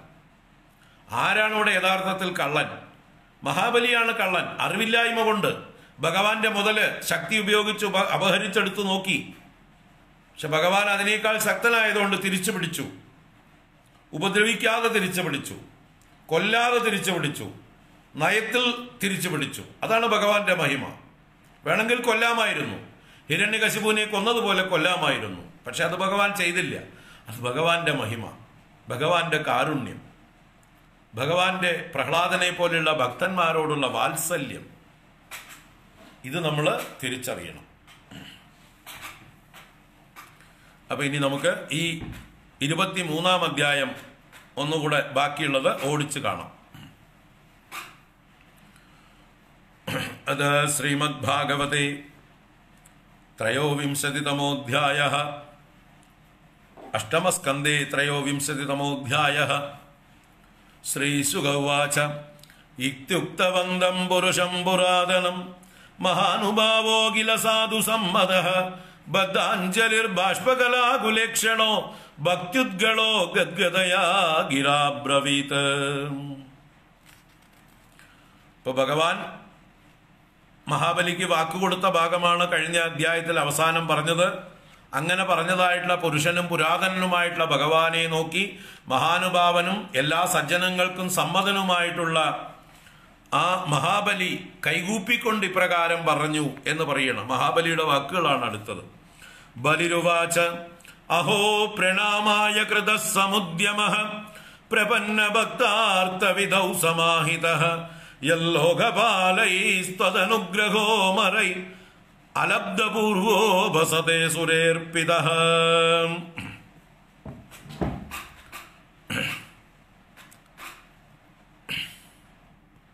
ഭഗവാന്റെ കാരുണ്യം എത്രയാണെന്ന് പറയണം. ലോകപാലന്മാർക്ക് പോലും ലഭിക്കാത്തതായിട്ടുള്ള ഏറ്റവും അസുലഭമായിട്ടുള്ള പൂർവം അലബ്ധമായിരിക്കുന്ന അങ്ങയുടെ അനുഗ്രഹം ഈ നീചനായിട്ടുള്ള അപസതേ അസുരേ അർപ്പിത. അപസതനായിരിക്കുന്ന നീചനായ വഴിതെറ്റി നടക്കുന്നതായിട്ടുള്ള ഈ അസുരന് അങ്ങ് ഇത്രയും വലിയ അനുഗ്രഹമാണ് തന്നിരിക്കുന്നത് എന്നാ പറഞ്ഞത്. അങ്ങയെ ഞാൻ പ്രണാമത്തിനായിക്കൊണ്ട് ശ്രമിച്ചു. പക്ഷെ അങ്ങ് എത്ര ഭക്തവത്സലനാണ് ശരണാഗത വത്സലനാണ് എന്ന് കാണിച്ചു. എന്ന് വെച്ചാൽ ഭഗവാൻ പറഞ്ഞ വാക്കുകളാണ് ഇവിടെ ആധാരം. ഞാൻ നിന്റെ കാവൽക്കാരനായിരിക്കും നീ സുതലത്തിൽ ചെല്ലൂ നിന്നെ ഇന്ദ്രനാക്കാം എന്ന് പറഞ്ഞതിനെയൊക്കെയാണ് മഹാബലി ഇവിടെ സ്തുതിക്കുന്നത്. അപ്പൊ ഇങ്ങനെ ആരെങ്കിലും ചെയ്യൂ എന്ന് ഭഗവാന്റെ മഹിമയെക്കുറിച്ച് അങ്ങയുടെ നമ അങ്ങയിൽ അങ്ങയോട് ചെയ്യുന്ന നമസ്കാരത്തിന് ഇത്രയും പ്രയോജനമുണ്ട് എന്ന് ഞാൻ കരുതിയില്ല. ഒരു വെറൊരു നമസ്കാരമേ ഞാൻ ചെയ്തുള്ളൂ. ഇത്രയും അനുഗ്രഹമാണ് അങ്ങ് തന്നത്. എത്ര കരുണാമൂർത്തിയാണ് അങ്ങ് എന്ന് മഹാബലിയുടെ വാക്കുകൾ. എന്ന് പറഞ്ഞ് ശ്രീ ശുഗ ശ്രീ ഇത്യുക്വാ ഹരിമാനമ്യ ബ്രഹ്മാണം സഭവം തത വിവേശസുതലം പ്രീതോ ബലിർമുക്ത സഹാസുരൈ ഇങ്ങനെ പറഞ്ഞുകൊണ്ട് ഹരിയെ നമസ്കരിച്ച് ബ്രഹ്മദേവനെയും സഭവം എന്ന് പറഞ്ഞാൽ ഭവനെയും ഭവൻ എന്നാൽ ശിവനും ഉണ്ട് അവിടെ. ശിവനെയും നമസ്കരിച്ച് അപ്പൊ ത്രിമൂർത്തികളെ നമസ്കരിച്ച് അവിടുന്ന് പ്രീതനായ ബലി മുക്തനായിട്ട് സ്വതന്ത്രനായിട്ട് സഹ അസുരൈഹി സുതലം വിവേശ അസുരന്മാരോടുകൂടി സുതലത്തിലേക്ക് പ്രവേശിച്ചു. അപ്പൊ ഇവിടെ മഹാബലിയെ ചവിട്ടിത്താഴ്ത്തി എന്നല്ല പറഞ്ഞത്. മുക്തനായിട്ട് അസുരന്മാരോടുകൂടി സന്തോഷത്തോടുകൂടി പ്രീതനായിട്ട് സുതലം വിവേശ ത്രിമൂർത്തികളെ നമസ്കരിച്ച് മടങ്ങിച്ചെന്നു അദ്ദേഹം എന്നാണ് പറഞ്ഞത്. ഏവമിന്ദ്രായ ഭഗവാൻ പ്രത്യാനീയ ത്രിവിഷ്ടവം പൂരയിത്വാതിദേ കാമം അശാസത് സകലം ജഗത്. ഭഗവാൻ ചെയ്ത ലീലയെ പറയണം. ഇപ്രകാരം ഇന്ദ്രനായിക്കൊണ്ട് ആ മൂന്ന് ലോകങ്ങളുടെയും ആധിപത്യം അല്ലെങ്കിൽ സ്വർഗത്തെ വീണ്ടെടുത്തു കൊടുത്ത് ത്രിവിഷ്ടവം പ്രത്യാനീയ അതിദേഹേ കാമം പൂരയിത്വാം അതിഥിയുടെ ആഗ്രഹത്തെ സാധിച്ചു കൊടുത്ത് അതിഥിയാണല്ലോ ഭഗവാനെ തപസ് ചെയ്ത് വ്രതമെടുത്തത്. അപ്പൊ അതിഥിയുടെ ആഗ്രഹം മക്ത മക്കൾക്ക് യഥാസ്ഥാനം അവരുടെ അർഹത കിട്ടണം അവർക്ക് അർഹിക്കുന്നത് കിട്ടണം എന്ന് പറഞ്ഞത് സാധിച്ചു കൊടുത്ത് സകലം ജഗത് അശാസത്. ലോകത്തെ മുഴുവൻ രക്ഷിച്ചു പരിപാലിച്ചു ഭഗവാൻ. ലബ്ധപ്രസാദം നിർമുക്തം പൗത്രം വംശധരം ബലിം നിശാമ്യ ഭക്തിപ്രവണ പ്രഹ്ലാദ ഇതമബ്രവീത്.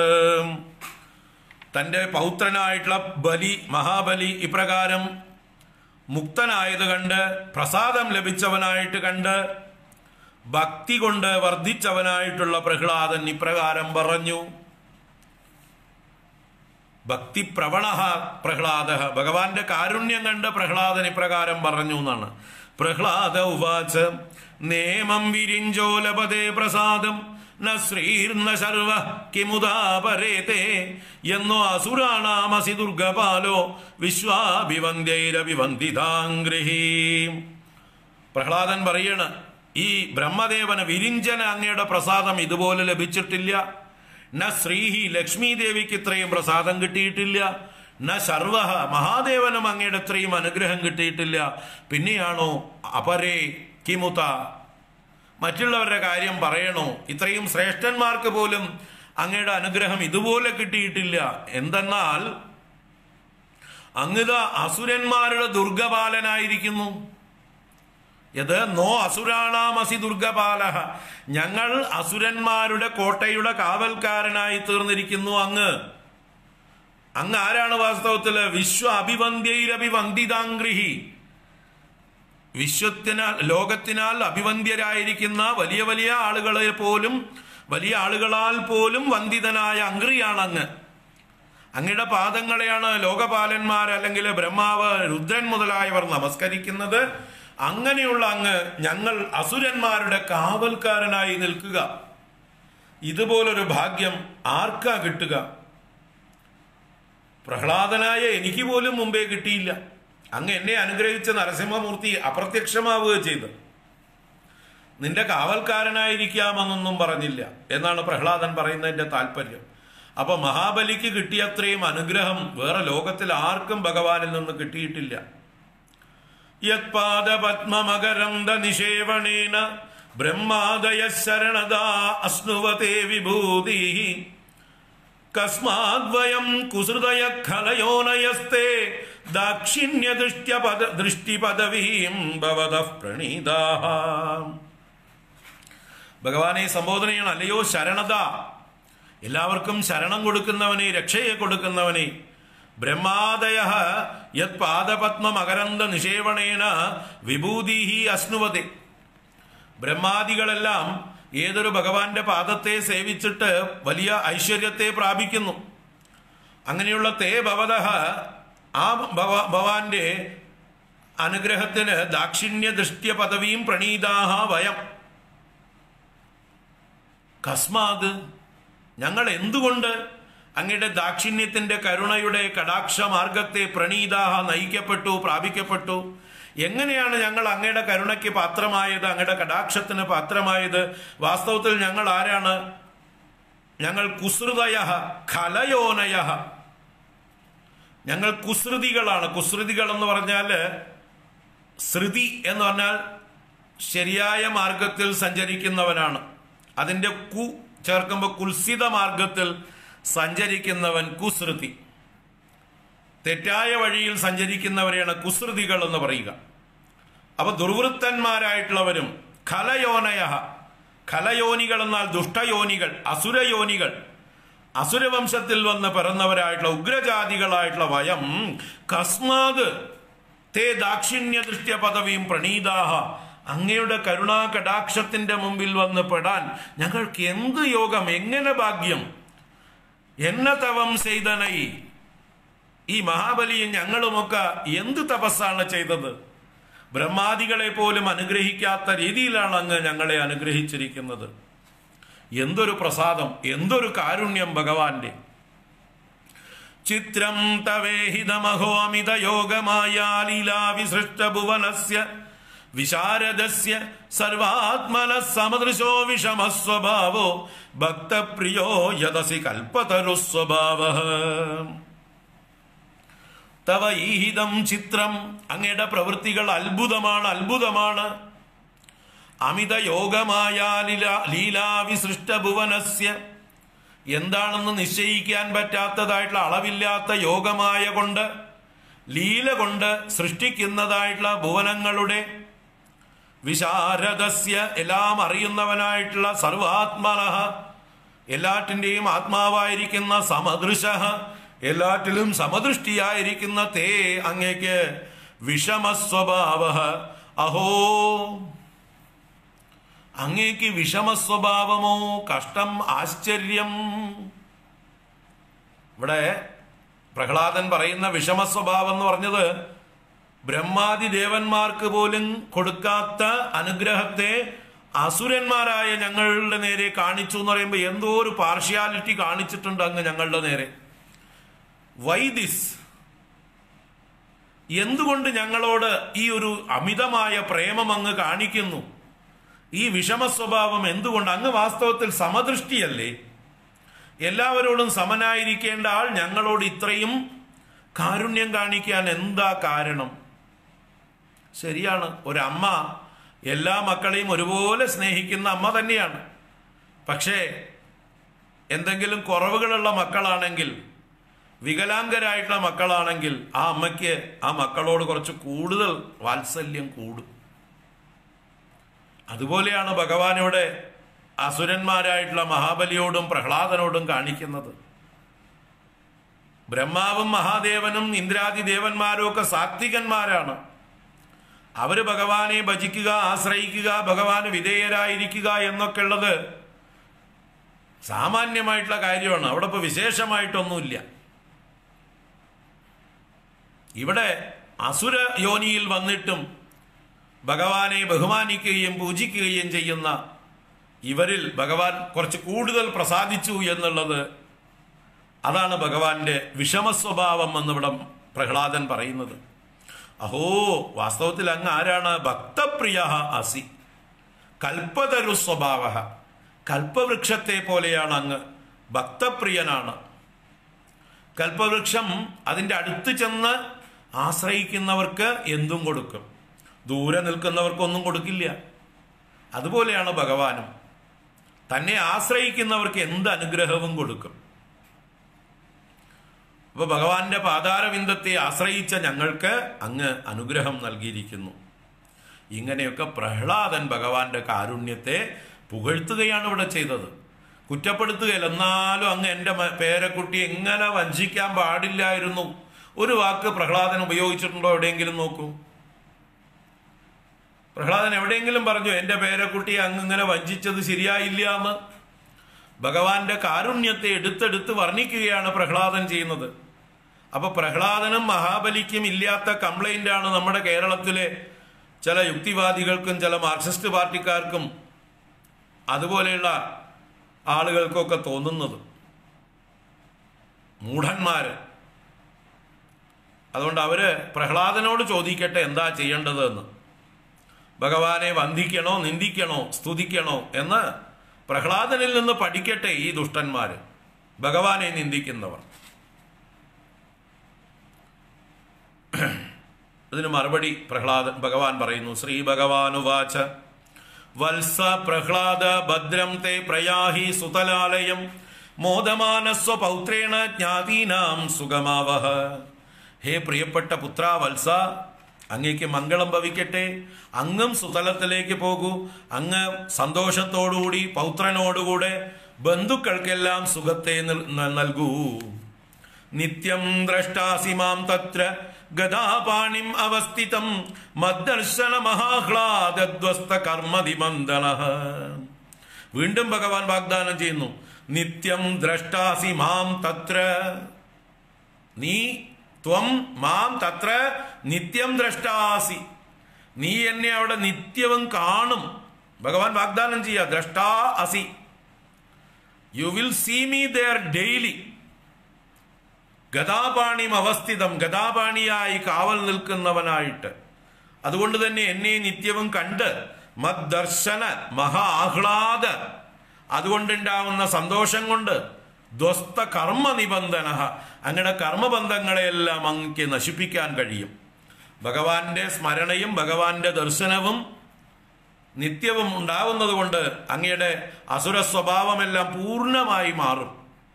കർമ്മബന്ധനങ്ങളിൽ നിന്ന് അങ്ങ് മുക്തനായിത്തീരും എന്നിങ്ങനെ ഭഗവാൻ വീണ്ടും അനുഗ്രഹിച്ചു.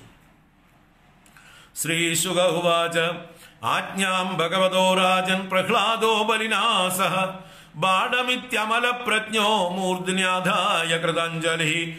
പരിക്രമ്യാതി പുരുഷം സർവാസുര ചമൂപതി. പ്രണതസ്തനുജ്ഞാത പ്രവിവേശ മഹാബിലം. ആ ഭഗവാന്റെ ആജ്ഞയെ ആ പ്രഹ്ലാദനും ബലിയും ഒന്നിച്ച് ബാഡം ഇതി. അങ്ങനെ തന്നെ ആവട്ടെ എന്ന് പറയുന്നതിനാണ് ബാഡം എന്ന് പറയുന്നത്. അമലപ്രജ്ഞ അമലപ്രജ്ഞ എന്ന് പറഞ്ഞാൽ ശുദ്ധ ബുദ്ധിയോടുകൂടി യാതൊരു കളങ്കവുമില്ലാതെ നിഷ്കളങ്കമായി മൂർധിനി ആദായ ശിരസാ വഹിച്ചുകൊണ്ട് ഭഗവാന്റെ ആജ്ഞയെ ശിരസിൽ സ്വീകരിച്ചുകൊണ്ട് കൃതാഞ്ജലി കൈകൾ കൂപ്പിക്കൊണ്ട് പരിക്രമ്യ ആദിപുരുഷം. ആ ആദിപുരുഷനായ ഭഗവാനെ പരിക്രമണം ചെയ്തിട്ട് മൂന്ന് പ്രദക്ഷിണം ചെയ്തിട്ട് സർവ അസുര ചമൂപതി എല്ലാ അസുരന്മാരുടെയും സേനാനായകനായ മഹാബലി പ്രണത വിനീതനായിട്ട് തദ്നുജ്ഞാത ഭഗവാനിൽ നിന്ന് അനുജ്ഞ നൽ കിട്ടപ്പെട്ടവനായിട്ട് മഹാബിലം പ്രവിവേശ. മഹാബിലം ആ ബിലം എന്ന് പറഞ്ഞാൽ ദ്വാരം മാളം എന്നൊക്കെ അർത്ഥമുണ്ട്. ഇവിടെ ഏഴ് താഴെയുള്ള ലോകങ്ങളെയും ബിലങ്ങൾ ബിലസ്വർഗങ്ങൾ എന്ന് പറയും. ബിലസ്വർഗങ്ങൾ എന്നാണ് അവയെ പറയുക. അതോ ലോകങ്ങൾ അതിനെയാണ് ഇവിടെ ബിലം എന്ന് പറഞ്ഞത്. അപ്പൊ മഹാബിലം എന്ന സുതലത്തിലേക്ക് പ്രവിവേശ പ്രവേശിച്ചു. അദാഹ ഉശന സംരാജൻ ഹരിർനാരായണൊന്തികേ ആസീനം മൃത്യുജ മധ്യേ സദസി ബ്രഹ്മവാദിനാം. ഭഗവാൻ അടുത്തു നിൽക്കുന്ന ശുക്രാചാര്യരോട് ഇപ്രകാരം പറഞ്ഞു എന്ന് പറയണം. ബ്രഹ്മൻ സന്തനു ശിഷ്യസ്യ കർമ്മ ഛിദ്രം വിതന്മത യത്തത് കർമ്മസു വൈഷമ്യം ബ്രഹ്മദൃഷ്ടം സമം ഭവേത്. ആ ശുക്രാചാര്യരോട് പറയണ അങ്ങയുടെ ശിഷ്യൻ തുടങ്ങി വെച്ച ഈ യാഗത്തെ അങ്ങ് പൂർത്തീകരിക്കും. കർമ്മത്തിൽ വൈഷമ്യമുണ്ടാകുന്നത് നിങ്ങളെ പോലെയുള്ള ബ്രാഹ്മണർ ദർശിച്ചാൽ തന്നെ സമമായി ഭവിക്കും. വിഷമം പോയി സമമാവും. അതുകൊണ്ട് നിങ്ങൾ വേണ്ടത് ചെയ്യൂ എന്ന് ശുക്രാചാര്യരോട് ഭഗവാൻ പറഞ്ഞു. ശുക്രാചാര്യർ തിരിച്ച് ഭഗവാനോട് ചോദിക്കുന്നു ശുക്ര ഉവാച കുതസ്തത്കർമ്മ വൈഷമ്യം യസ്യ കർമ്മേശ്വരോ ഭവാൻ യജ്ഞേശോ യജ്ഞപുരുഷ സർവഭാവേന പൂജിത. യാഗങ്ങളും യജ്ഞങ്ങളും ഒക്കെ അങ്ങയെ പൂജിക്കാനല്ലേ? അപ്പൊ പിന്നെ എവിടുന്ന കർമ്മവൈഷമ്യം ഇവിടെ? കാരണം അങ്ങയെ നല്ലതുപോലെ സർവഭാവത്തിലും പൂജിച്ചു യജമാനനായ മഹാബലി. ഇനി ഇതിൽ പരം പൂജയുണ്ടോ? അതുകൊണ്ട് ഒരു കുറവും ഉണ്ടായിട്ടില്ല ഇവിടെ യജ്ഞത്തിന് ഒരു ഭംഗവും ഉണ്ടായിട്ടില്ല യജ്ഞേശനും യജ്ഞപുരുഷനും കർമ്മേശ്വരനുമായിട്ടുള്ള അങ്ങ് സർവഭാവേന പൂജിത. അതുകൊണ്ട് കുതഹ കർമ്മവൈഷമ്യം. എവിടുന്ന് കർമ്മവൈഷമ്യം? എല്ലാം വേണ്ടത് ചെയ്തു കഴിഞ്ഞു. മന്ത്രത തന്ത്രത ഛിദ്രം ദേശകാല അർഹ വസ്തുത സർവം കരോതി നിശ്ചിദ്രം നാമസങ്കീർത്തനം തവ. മറ്റുള്ള പലരും പല യാഗങ്ങളും യജ്ഞങ്ങളും പൂജകളും ഒക്കെ ചെയ്യുമ്പോൾ അതിൽ എന്തെങ്കിലും കുറവുണ്ടായാൽ ഭഗവാന്റെ നാമം ചൊല്ലി സമർപ്പിച്ചാൽ തന്നെ പൂർണമായി നാരായണായേതി സമർപ്പയാമി എന്ന് പറഞ്ഞാൽ തന്നെ എല്ലാ ഛിദ്രങ്ങളും പോയി എല്ലാ കുറവുകളും നികത്തി. മന്ത്രം കൊണ്ടോ തന്ത്രം കൊണ്ടോ ദേശ കാല പൂജ വസ്തു എന്തൊക്കെ കുറവുണ്ടെങ്കിലും അതിനൊക്കെ ഭഗവാന്റെ നാമം ജപിച്ചാലേ പോകും. സർവം കരോതി നിശ്ചിദ്രം. അപ്പൊ പിന്നെ തഥാപി വതതോ ഭൂമൻ കരിഷ്യാമി അനുശാസനം ഏതത് ശ്രേയ പരപ്പും പരം പുംസാം യത് തവാജ്ഞാനുപാലനം അതുകൊണ്ട് ഇത് പൂർത്തീകരിക്കേണ്ട കാര്യമില്ല? പൂർണമായി കഴിഞ്ഞു. എന്നാലും അങ്ങ് പറയുന്നതിനെ അനുസരിക്കാം. കാരണം അങ്ങയുടെ ആജ്ഞയെ അനുസരിക്കുന്നതാണ് എല്ലാവർക്കും ശ്രേയസ്കരം എന്നതുകൊണ്ട് അങ്ങ് പറഞ്ഞതിനെ അനുസരിക്കാം എന്ന് പറഞ്ഞുകൊണ്ട് ശുക്രാചാര്യര് ആ യാഗത്തെ പൂർത്തീകരിച്ചു എന്ന് സുഖബ്രഹ്മർഷി ശ്രീ സുഖവാച അഭിനന്ദ്യ ഹരേ രാജ്ഞാം ഉശന ഭഗവാൻ ഇതി യജ്ഞഛിദ്രം സമാദത്ത ബലേർ വിപ്രശിബിർ സഹ. അങ്ങനെ ആ യജ്ഞഛിദ്രത്തെ വേണ്ട പോലെ പൂർത്തീകരിച്ചു ആ ബ്രാ ബ്ര- ഋഷിമാരോടുകൂടെ ആ ശുക്രാചാര്യര് ഏവം ബലേർമഹീം രാജൻ ഭിക്ഷിത്വാ വാ മനോഹരി ദദൗ ഭ്രാത്രേ മഹേന്ദ്രായ ത്രിദിവം യത്പറൈർഹൃതം ഇപ്രകാരം ആ മഹാ ഭഗവാൻ വാമനൻ ഹരിയിൽ നിന്ന് അല്ല ബലിയിൽ നിന്ന് മഹിയെ ഭിക്ഷിത്വ യാചിച്ച് തിരിച്ചെടുത്ത് ഭ്രാത്രേ മഹേന്ദ്രായ ത്രിദിവം ദദൗ. ഭ്രാതാവായ മഹേന്ദ്രനായിക്കൊണ്ട് ആ സ്വർഗലോകത്തെ ദാനം ചെയ്തു. ശത്രുക്കളാൽ അപഹരിക്കപ്പെട്ട സ്വർഗത്തെ വീണ്ടെടുത്തു കൊടുത്തു. പ്രജാപതിപതിർ ബ്രഹ്മാദേവർഷ്യ പിതൃഭൂമിഭൈ ദക്ഷ ഭൃഗു അങ്കിരോ മുഖ്യൈ കുമാരേണ ഭവേന ച. കശ്യപസ്യാതിദേ പ്രീത്യൈ സർവഭൂതഭവായ ച. ലോകാനാം ലോകപാലാനാം അകരോത് വാമനം പതിം. അങ്ങനെ പ്രജാപതികളുടെ പതിയായ ബ്രഹ്മദേവൻ എല്ലാവരുടെയും മുമ്പിൽ വെച്ച് ഈ വാമനനെ ലോകമ്മ ലോകങ്ങളുടെയും ലോകപാലങ്ങളുടെയും ലോകപാലന്മാരുടെയൊക്കെ പതിയായി അഭിഷേകം ചെയ്ത് നിശ്ചയിച്ചു എന്നാണ്.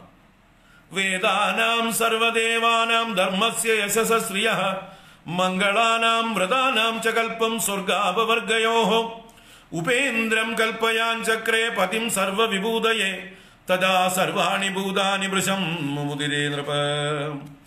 അങ്ങനെ വേദങ്ങൾ സർവദേവന്മാര് ധർമ്മം യശസ് ശ്രീ മംഗളങ്ങൾ വ്രതങ്ങൾ യാഗങ്ങളുടെ വിധികൾ സ്വർഗം അപവർഗം എല്ലാറ്റിന്റെയും പതിയായിട്ട് ഉപേന്ദ്രനെ കൽപ്പിച്ചു. ഉപേന്ദ്രൻ വാമനന് അപ്പോൾ ലോകത്തിലുള്ള എല്ലാവരും സന്തോഷിച്ചു എന്ന് പറയുകയാണ്.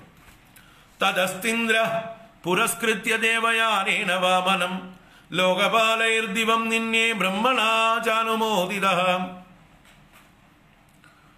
അങ്ങനെ ബ്രഹ്മാവിനാൽ അനുമ അനുമോദനം ലഭിച്ച അനുമതി ലഭിച്ച ഇന്ദ്രനും ലോകപാലന്മാരും കൂടി വാമനനെ സ്വർഗത്തിലേക്ക് കൊണ്ടുപോയി എന്നാണ്.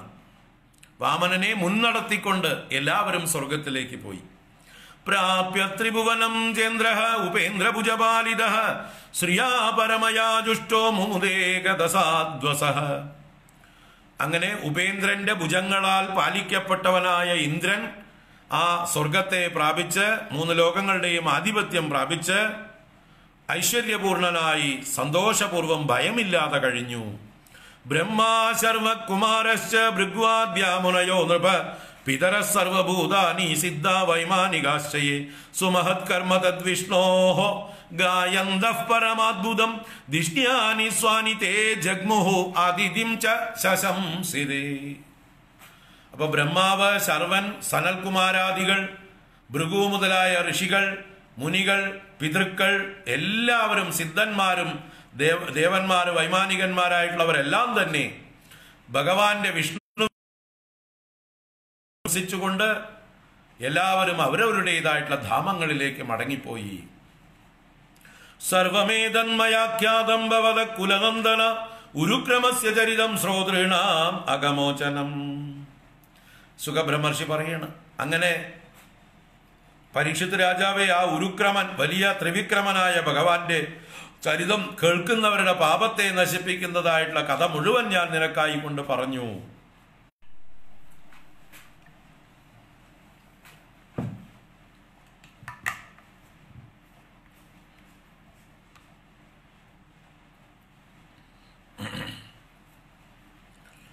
പാരം മഹിംന ഉരുവിക്രമതോ ഗൃണാനോ? യഃ പാർത്ഥിവാനി വിമമേ സരജാംസി മർത്യ കിം ജായമാന ഉത ജാത ഉപൈതി മർത്യ। ഇത്യാഹ മന്ത്ര ഋഷി പുരുഷസ്യ യസ്യ।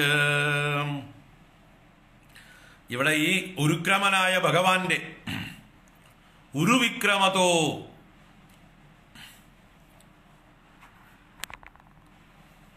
ഉരുവിക്രമത എന്ന് പറഞ്ഞാൽ മഹാപരാക്രമത്തോടുകൂടിയ വലിയ കാൽവെപ്പുകളോടുകൂടിയ ത്രിവിക്രമന്റെ മഹിംനഹ പാരം ഗൃണാനഹ യഹ. ഭഗവാന്റെ മഹിമയുടെ മറുകരയെ വർണിക്കാൻ ആരാണോ ശ്രമിക്കുന്നത്? സമർത്ഥ്യ പാർത്ഥിവാനി രജാംസി വിമമേ. അവന് വേണമെങ്കിൽ ഭൂമിയിലുള്ള മൺതരികളൊക്കെ എണ്ണി തീർക്കാം. എന്നാൽ ജായമാനഹ ഉതജാത മർത്യ ജനിക്കാൻ പോകുന്നവനോ ജനിച്ചവനോ ആയിട്ടുള്ള ഏതൊരു മനുഷ്യനും യസ്യ പുരുഷ പുരുഷസ്യ മഹിംനഹ പാരം ഉപൈതീക്കും ഈ ഏതൊരു പുരുഷന്റെ മഹാപുരുഷനായ ഭഗവാന്റെ മഹിമയെ മഹിമയുടെ പാരത്തെ മറുകര കാണാൻ കഴിയുമോ? ഇല്ല തന്നെ എന്ന് ഇത് മന്ത്രത് ഗൃഷിഹി ആഹ എന്ന് മന്ത്രദ്രഷ്ടാവായ മഹ മഹർഷി പറഞ്ഞിരിക്കുന്നു. ഇത് വിഷ്ണു സൂക്തം എന്ന് പറയുന്ന സൂക്തത്തിലെ വചനങ്ങളാണ്. വസിഷ്ഠന്റെ വചനങ്ങളാണ്. വസിഷ്ഠ ഋഷി വിഷ്ണു സൂക്തത്തിൽ പറയുന്നുണ്ട് നിങ്ങൾക്ക് വേണമെങ്കിൽ ഭൂമിയിലുള്ള മൺതരികളെല്ലാം എണ്ണിത്തീർക്കാം. പക്ഷേ ഭഗവാന്റെ മഹിമയെ വിഷ്ണുവിന്റെ മഹിമയെ വർണിക്കാൻ പൂർത്തീകരിക്കാൻ സാധിക്കുമെന്ന് ആരും ചിന്തിക്കേണ്ട. എന്ന് വിഷ്ണു സൂക്തം പറയുന്നതിനെയാണ് ഇവിടെ എടുത്തു പറയുന്നത്. അപ്പൊ ഭഗവാന്റെ മഹിമയെ ആർക്കും വർണിക്കാനാവില്ല. യൈതം ദേവദേവസ്യ ഹരേരത്ഭുതകർമ്മണ അവതാരാനുചരിതം ശൃണ്വൻ യാതി പരാങ്കതിം ആരാണോ ദേവദേവനും ഹരിയുമായ അത്ഭുതകർമാവായ ഭഗവാന്റെ വാമനാവതാര ചരിതം കേൾക്കുന്നത് അവർ പരഗതിയെ പ്രാപിക്കുന്നു. ക്രിയമാണേ കർമ്മണീതം ദൈവേ പിത്രിയത മാനുഷേ എത്ര എത്രാനുകീർത്തിയത് തത്തേഷാം സുഹൃതം വിദുഹു ഏത് സൽക്കർമ്മങ്ങൾ ചെയ്യുമ്പോഴും ഈ വാമന ചരിതം അതിന്റെ കൂട്ടത്തിൽ വായിച്ചാൽ അത് പിതൃകർമ്മമാവട്ടെ ദേവകർമ്മമാവട്ടെ മാനുഷകർമ്മമാവട്ടെ ഏത് കർമ്മത്തിന്റെയും പൂർത്തിയിൽ അവസാനം ഈ വാമന അവതാര ചരിതം വായിക്കുകയാണെങ്കിൽ എത്ര എത്ര അനുകീർത്തിയതാ. തത് തേഷാം സുഹൃതം വിദു. ആ കർമ്മം അവരാൽ വെൽ ഡൺ എന്നറിയപ്പെടുന്നു. അപ്പൊ ഏത് കർമ്മത്തിലും എന്തു കുറവുണ്ടെങ്കിലും നികത്താൻ അതിൽ ഈ വാമനാവതാര ചരിതം വായിച്ചാൽ മതി. അത് പൂർണമാക്കി തീർക്കും. അത് സുഹൃതമായി തീരും. വെൽ ഡണ്ണായി ഭവിക്കും. അപ്പൊ കർമ്മങ്ങളുടെ പൂർത്തിക്കായി കൊണ്ട് വാമനാവതാര ചരിതം വായിക്കൂ. എന്നാണ് ഇവിടെ അവസാനം പറഞ്ഞ് ഇത് ശ്രീമദ് ഭാഗവതേ മഹാപുരാണേ പാരമഹംസ്യാം സംഹിതായാം അഷ്ടമസ്കന്ധേ. സോക്ത നിർവാഹ പ്രകരണേ ബലേഹ സുതല പ്രവേശാതി നിരൂപണം നാമ ത്രയോവിംശതിതമോധ്യായ സർവത്ര ഗോവിന്ദ നാമ സങ്കീർത്തനം ഗോവിന്ദ ഗോവിന്ദ. അപ്പോ ഇതാണ് മഹാബലി ചരിതം. ഭഗവാന്റെ മഹിമയുടെ ചരിതമാണ് മഹാബലി ചരിതം വാമനാവതാര ചരിതം. അല്ലാതെ ഭഗവാനെ ഇകഴ്ത്തിക്കൊണ്ട് മഹ- മഹാബലിയെ പുകഴ്ത്താനുള്ള ചരിതമല്ല ഈ ശ്രീമദ് ഭാഗവതത്തിലെ മഹാബലി ചരിതം. ഭാഗവതം എന്ന് പറഞ്ഞാൽ തന്നെ ഭഗവാനെ പുകഴ്ത്തുന്ന കൃതിയാണ്. അതിൽ മഹാബലിയെ പുകഴ്ത്തേണ്ട കാര്യം ഇല്ല.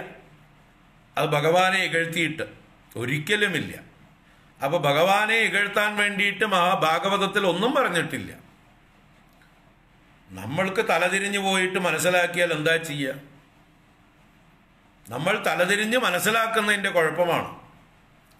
വ്യാസൻ ഭഗവാനെ പുകഴ്ത്താൻ വേണ്ടിയിട്ടാണ് ഭാഗവതം രചിച്ചത്. അപ്പൊ അതിൽ ഭഗവാനെ കുറ്റപ്പെടുത്തിക്കൊണ്ട് കള്ളനും വഞ്ചകനുമാക്കിക്കൊണ്ട് അവതരിപ്പിക്കുമോ? മഹാബലിയെ പുകഴ്ത്തി ഭഗവാനെ നിന്ദിക്കേണ്ട വല്ല കാര്യവുമുണ്ടോ ഭഗവാന് ഭാഗവതത്തിൽ? അതിന് വേറെ പുസ്തകം രചിക്കാം. മഹാബലിയെ കുറിച്ചൊരു novel M T Vasudevan Nair രണ്ടാം മുഴുവൊക്കെ എഴുതുന്നത് പോലെ മഹാബലി ചരിതം എന്ന് പറഞ്ഞിട്ട് വ്യാസന് വേണമെങ്കിൽ ഒന്ന് എഴുതാമായിരുന്നു. പക്ഷെ വ്യാസൻ അങ്ങനെയൊന്നും എഴുതുന്ന ആളല്ല. വ്യാസൻ എം ടി അല്ല. വ്യാസൻ പൂർണനാണ്. എം ടി അല്ല. അതുകൊണ്ട്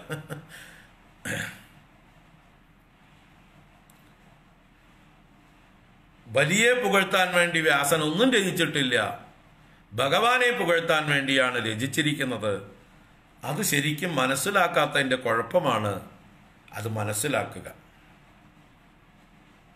അപ്പോൾ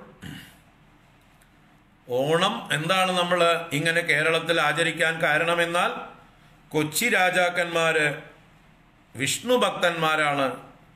അവരുടെ പരദൈവം എന്ന് പറയുന്നത് പൂർണത്രയീസനും തൃക്കാക്കരയപ്പനുമാണ്. ആ തൃക്കാക്കരയപ്പന്റെ ജന്മദിനം അവതാര ദിനം മഹോത്സവമായി അവർ കൊണ്ടാടുന്നു. അതിന്റെ പ്രതീകമായിട്ടാണ് പത്ത് ദിവസം ഓണാഘോഷം അത്തം മുതൽക്ക് ആഘോഷമായി കൊണ്ടാടുന്നത്. ആ കൊച്ചി രാജാക്കന്മാരുടെ പ്രയത്നം കൊണ്ട് ഓണത്തിന് കേരളമെമ്പാടും സ്വീകാര്യത വർദ്ധിച്ചു. ആ കാലം കൃഷിക്കാലവുമായി കൊയ്ത്തുകാലമാണ് വിളവെടുപ്പ് കാലമാണ്. ആ വിളവെടുപ്പിന്റെ ആഹ്ലാദം കൂടി അതോടൊപ്പം ചേർന്നു. ഓരോരുത്തരും തങ്ങൾക്ക് കൂടുതലായി ഉള്ള വസ്തുക്കളെ മറ്റുള്ളവർക്ക് പങ്കിടുന്നതായിട്ടുള്ള ഒരു ഉത്സവമാക്കി മാറ്റി അതിനെ. അപ്പോൾ കൃഷിക്കാരും മറ്റ് സാധാരണക്കാരായിട്ടുള്ള പ്രജകളും തങ്ങളുടെ നിർമ്മിതികൾ എന്താണെന്ന് വെച്ചാൽ അത് രാജാവിനെ കൊണ്ട് കാഴ്ചവെക്കുന്നു രാജാവ് അവർക്ക് തിരിച്ച് സമ്മാനങ്ങൾ കൊടുക്കുന്നു. ഇതാണ് ആ ഓണത്തിന് നടന്നുകൊണ്ടിരുന്നത്. അതാണ് ഓണക്കാലത്ത് ഏത് കരകൗശല കർമ്മങ്ങൾ ചെയ്യുന്നവരും ശില്പികൾ അവരുണ്ടാക്കുന്ന നല്ല ശില്പങ്ങൾ രാജാവിന് കൊണ്ട് സമർപ്പിക്കും. പാത്രങ്ങൾ ഉണ്ടാക്കുന്നവർ നല്ല പാത്രങ്ങൾ ഭഗ രാജാവിന് കൊണ്ട് സമർപ്പിക്കും. മൺപാത്രക്കാർ മൺപാത്രം വെങ്കല പാത്രങ്ങൾ ചെമ്പ് പാത്രങ്ങൾ പിച്ചള പാത്രങ്ങൾ അവരൊക്കെ കൊണ്ടുവന്ന് കൊടുക്കും. വിളക്കുകൾ ഉണ്ടാക്കി സമർപ്പിക്കും. ശില്പികൾ ശില്പങ്ങൾ സമർപ്പിക്കും. പറം എന്താ പറയുക പരമ്പും കൊട്ടയും മുറവും ഉണ്ടാക്കുന്ന പാവങ്ങൾ കവറകൾ എന്ന് പറയുന്നവർ അവർ അതുകൊണ്ട് കൊടുക്കും. ഇങ്ങനെ ആശാരിമാർ അവരുടേതായിട്ടുള്ള ഓരോ നിർമ്മിതികൾ കൊണ്ട് കൊടുക്കും. ഇങ്ങനെ ഇങ്ങനെ ഓരോരുത്തരും അവരവരുടേതായിട്ടുള്ള നിർമ്മിതികളെ രാജാവിന് കാഴ്ച കൊണ്ട് വെക്കുന്നു. രാജാവ് തിരിച്ചവർക്ക് പട്ടും വളയും സമ്മാനങ്ങളും വസ്ത്രങ്ങളും ധാന്യങ്ങളും ഒക്കെ കൊടുത്ത് സമ്മാനിക്കുന്നു. ഇത് അങ്ങനെ ഒരു കൊടുക്കൽ വാങ്ങലിന്റെ രാജാവിന് ആവശ്യമില്ലെങ്കിൽ പോലും ഇവരുടെ വസ്തുക്കൾ അവർ രാജാവ് വാങ്ങിച്ച് അവിടെ വയ്ക്കുന്നു സമ്മാനിതനായി സ്വീകരിക്കുന്നു. എന്നിട്ട് രാജാവ് ഇവർക്ക് ആവശ്യമായിട്ടുള്ള വസ്ത്രങ്ങളും നാണയങ്ങളും ധാന്യങ്ങളും കൊടുത്ത് അവരെ സന്തോഷിപ്പിക്കുന്നു.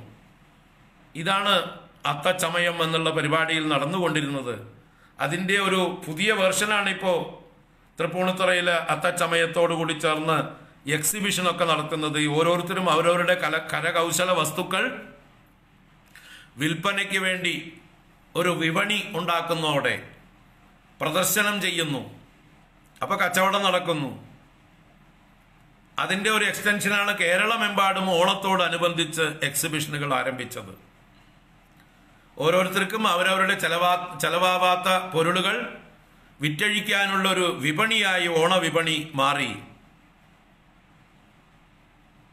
അതിന്ന് ഗവൺമെന്റ് തലത്തിൽ എല്ലാ തലത്തിലും ഏറ്റെടുത്ത് ഓരോ അധ്വാനിക്കുന്നവരുടെയും അധ്വാനത്തിന്റെ ഫലം മാർക്കറ്റ് ചെയ്യപ്പെടാൻ ഉള്ള വേദികളായി മാറി. അങ്ങനെ ആ എവിടുന്നാണ് ഇത് ആരംഭിച്ചത് എന്നുള്ളത് നമ്മൾ ഓർക്കണം. എല്ലാവരെയും സന്തോഷിപ്പിക്കാൻ ആ വൈഷ്ണവന്മാരായ ഭക്തന്മാരായ രാജാക്കന്മാർ നല്ല ഉദ്ദേശത്തോടു കൂടി ആരംഭിച്ചതായിട്ടുള്ള കാര്യങ്ങളാണ്. എല്ലാവരും സന്തോഷിക്കണം. എല്ലാവർക്കും സമൃദ്ധി ഉണ്ടാവണം. അതിന്റെ ബേസ് എന്താണ്? ഈ തത്വശാസ്ത്രമാണ്. ഏത് തത്വശാസ്ത്രം? ഭഗവാനാണ് ഈ വിശ്വം മുഴുവൻ വ്യാപിച്ചു നിൽക്കുന്നത് എന്ന തത്വശാസ്ത്രം. ഈശാവാസ്യമിതം സർവം യത്കിഞ്ച ജഗത്യാം ജഗത്. ഈശ്വരനാൽ വ്യാപിച്ചു നിൽക്കുന്നു ഈ ലോകം മുഴുവൻ. തേന തെക്തേന പുഞ്ചീതാഹ മാ ഘൃത കസ്യസിദ്ധനം അതുകൊണ്ട് നമ്മൾ നമ്മുടേതല്ല എന്നുള്ള അറിവോടുകൂടി ഈ ലോകത്ത് ജീവിക്കുക. ആരുടെയും ധനത്തെ നമ്മൾ കൊതിക്കാതിരിക്കുക.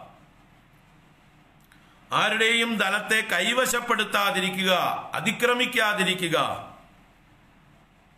എല്ലാവർക്കും ഈശ്വരൻ കൊടുത്തത് മറ്റുള്ളവരുമായി പങ്കിട്ടുകൊണ്ട് എല്ലാവരും ആനന്ദമായി സ്നേഹപൂർവം കഴിയേണ്ട ഉത്സവമാണ് ഓണം. ഭഗവാന്റെ ത്രിവിക്രമന്റെ വിജയ ദിവസമാണ് ഓണം. ആ ത്രിവിക്രമന്റെ രൂപമാണ് ഓണത്തിന് നമ്മുടെ ഓരോരുത്തരുടെയും ഉള്ളിൽ തെളിയേണ്ടത്. വിശ്വ വിശ്വം മുഴുവൻ ഭഗവാന്റെ ശരീരത്തിൽ മഹാബലി കണ്ടതുപോലെ നമ്മളും കാണുമ്പോൾ നമ്മുടെ ചുറ്റുപാടുമുള്ള സർവചരാചരങ്ങളെയും നമ്മൾ സ്നേഹിക്കും. നമ്മുടെ കയ്യിലുള്ളതൊക്കെ അവരുമായി പങ്കുവെക്കും വിട്ടുകൊടുക്കും. ഈ പങ്കുവെക്കലിന്റെയും വിട്ടുകൊടുക്കലിന്റെയും സഹകരണത്തിന്റെയും സ്നേഹത്തിന്റെയും സന്ദേശമാണ് ഓണം. ഈശാവാസ്യം ഇതം സർവം യത്കിഞ്ച ജഗത്യാം ജഗത്. തേന തെക്തേന ഭുഞ്ചീതാഹ മാകൃത കസ്യസിദ്ധനം എന്ന ഈ ഉപനിഷത് വാക്യത്തിന്റെ ഒരു ഡെമോൺസ്ട്രേഷനാണ് ഓണാഘോഷം. ആ ഡെമോൺസ്ട്രേഷനാണ് ഈ വാമനാവതാര ചരിത്രം. ഈ ഫിലോസഫി അറിഞ്ഞാൽ മാത്രമേ ഓണതത്വം നമുക്കറിയുള്ളൂ. ആ തത്വം അറിഞ്ഞുകൊണ്ട് നമ്മൾ ഓണം ആചരിക്കുമ്പോൾ നമ്മൾ നമ്മുടേതെല്ലാം മറ്റുള്ളവർക്കും പങ്കിട്ട് കൊടുക്കും. പങ്കിട്ട് കൊടുക്കും. പങ്കിട്ട് കൊടുക്കണം. പങ്കിടലിലുള്ള സുഖം സ്വയം എല്ലാം വെട്ടിപ്പിടിച്ചാൽ കിട്ടാൻ പോകുന്നില്ല. എനിക്ക് മാത്രം എനിക്ക് മാത്രം എനിക്ക് മാത്രം എന്ന് പറഞ്ഞ് വെട്ടിപ്പിടിക്കുന്നവർക്ക് ദുഃഖം വർദ്ധിച്ച് വർദ്ധിച്ചു വരും. എന്റെ കയ്യിലുള്ളത് മറ്റുള്ളവർക്കും കൂടി പ്രയോജനപ്പെടണം എന്ന് ചിന്തിച്ച് മറ്റുള്ളവരുമായി പങ്കുവെക്കുന്നവർക്കുള്ളതാണ് സുഖം. ഈ തത്വമാണ് ഓണം നമ്മെ പഠിപ്പിക്കുന്നത്. അതുകൊണ്ട് ഓണം പങ്കുവെക്കാനുള്ളതാണ്. ഓണം ഇല്ലാത്തവർക്ക് പങ്കിട്ട് കൊടുക്കുക. ഉള്ളവർ എന്താണോ അവരുടെ കയ്യിലുള്ളത് അത് മറ്റുള്ളവർക്ക് പങ്കിട്ട് കൊടുക്കാനുള്ള ഉത്സവമാണ്. ഭഗവാന്റെ സ്മരണയാണ് ഓണം. ഭഗവാനാണ് വിശ്വം മുഴുവൻ വ്യാപിച്ചു നിൽക്കുന്നത്. ആ വിശ്വരൂപ ദർശനമാണ് ഓണത്തിന് നമുക്ക് വേണ്ടത്. ആ വിശ്വരൂപ ദർശനത്തിൽ നിന്ന് മാത്രമേ ഈ സന്ദേശം ഉൾക്കൊണ്ടുകൊണ്ട് എല്ലാവർക്കും പങ്കിടാൻ നമുക്ക് കഴിയുള്ളൂ. കാരണം നമ്മൾ ആർക്ക് കൊടുക്കുന്നു?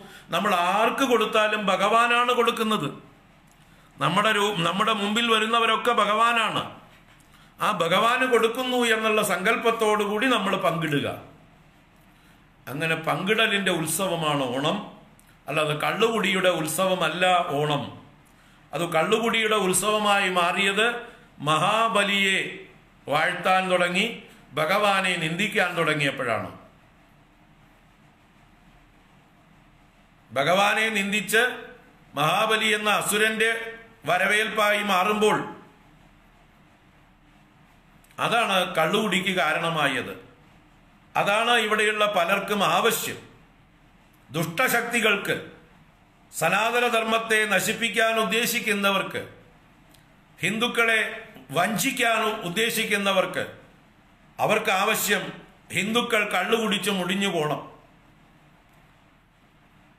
ഈ കേരളത്തിലെ ഈ കള്ളു വ്യവസായം അതിലേറ്റവും അധികം മുടിഞ്ഞുകൊണ്ടിരിക്കുന്നത് ഹിന്ദു സമൂഹമാണ്.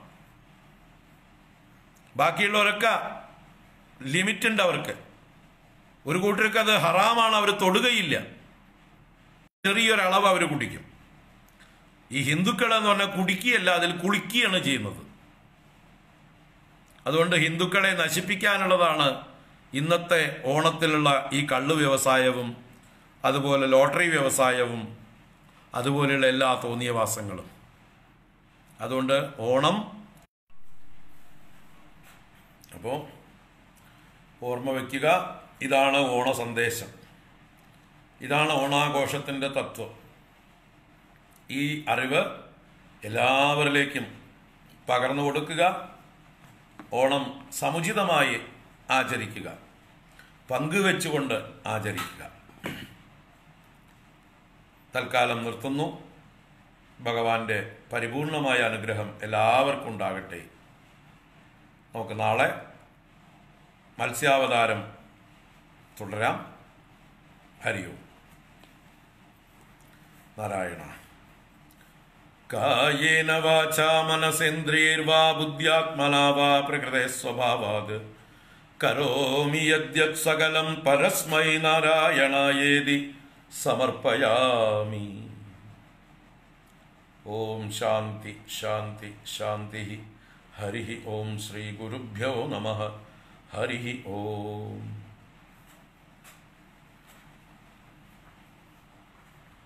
നാരായണ ഇപ്പോൾ വൈകിട്ട് ഗീതയ്ക്ക് കാണാം നാലരയ്ക്ക്. ഹരി ഓം